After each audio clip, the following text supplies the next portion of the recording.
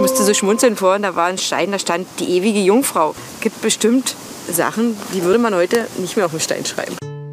Sieht man hier verschiedene Blätter und hier unten sieht man einen Palmzweig.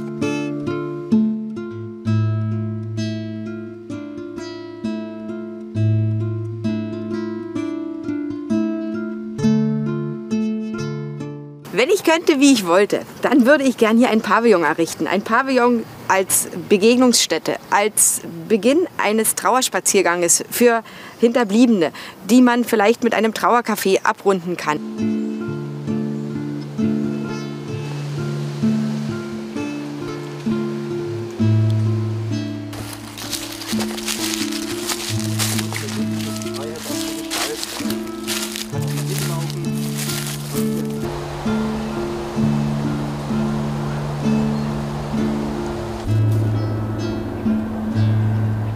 Das verlagert sich gerade äh, total.